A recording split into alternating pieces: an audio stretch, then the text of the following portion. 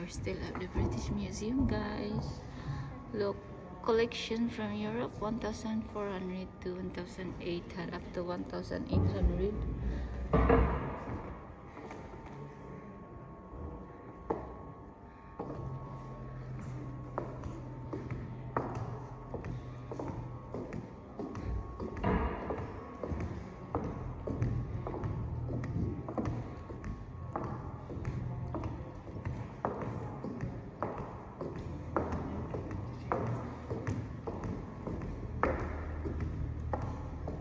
Look, they still look very um, yeah, clean.